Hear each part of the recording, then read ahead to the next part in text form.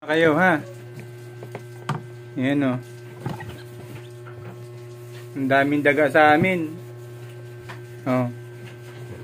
Ang lalaki ng daga. Nililinis lang namin yung ano. Kulungan nyo.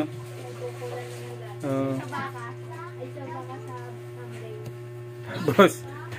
Eh no, madudumi na boss. Papaligaw namin tong isa. Dalawang late. Yan o. Tatlo yan.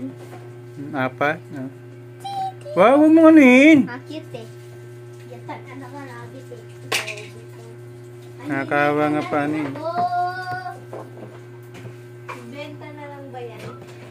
Hindi, padamihin na lang natin. Iuwi na lang natin doon. Makasakay kaya tayo nito sa ano, bus? Bawal, ay, baka hindi duma, ano, ma-stress yun. no? Dapat sa kotse.